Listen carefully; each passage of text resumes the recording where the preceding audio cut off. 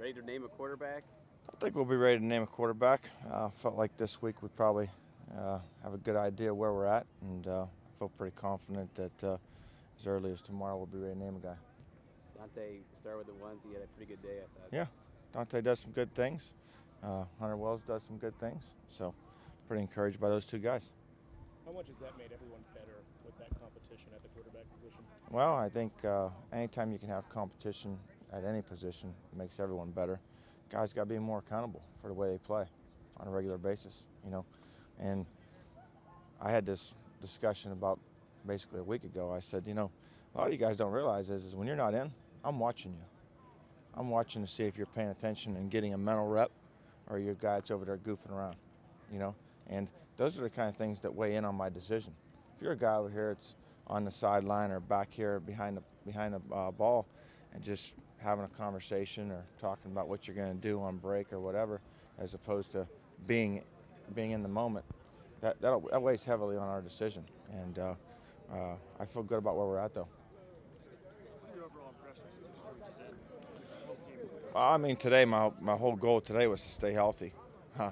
You know, two weeks from today we play. Uh, I was nervous all day. Got a couple guys with some ankle sprains today, but uh, for the most part, got out of here healthy. You saw I was pulling a bunch of starters. You know, uh, Donald Delicio, Octavius Brown, Jamil Smith.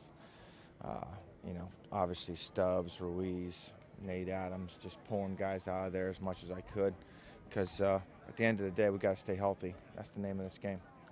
Know it's early, but one of your offensive linemen picked up one of those sprained ankles. I know, I'm sure you're not exactly sure the diagnosis with that, but how, Well- how vital can that be if you know to have? Well, we got some. I mean, we have. Some, we feel like we've got eight guys that can play.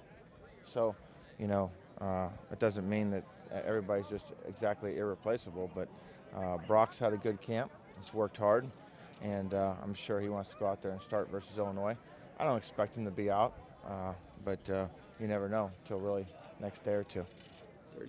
Had a great interception down the Yeah, he's a, uh, obviously a good athlete. Made a nice play there, one-hander, and uh, he's a guy who has a lot of ability. And uh, you know, I think a, lo- a lot of those new players that we've added uh, have some ability. It's just a matter of learning the system, how fast they can adapt, how fast they can fit in. Uh, that's the big thing. You had four D1 transfers. That's a pretty high number for you.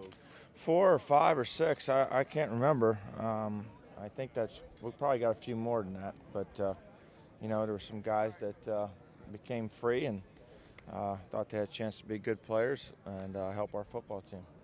The defense looked good again today. I know you said at media day don't take account what the spring has done. Do you think that they're up to speed? Pretty much? I think we're getting there. I think we're getting there. We got to get healthy a little bit. We still don't have Zaborski in there.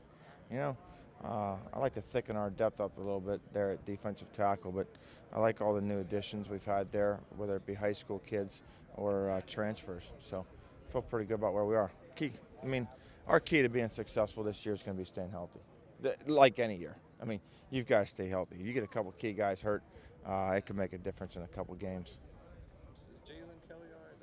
We didn't practice him today. He sprained his ankle the other day. Uh, it was uh, Wednesday. He sprained his ankle, so we needed to get some other guys reps, anyways. Uh, we know what Jalen can do. Jalen's had a good camp.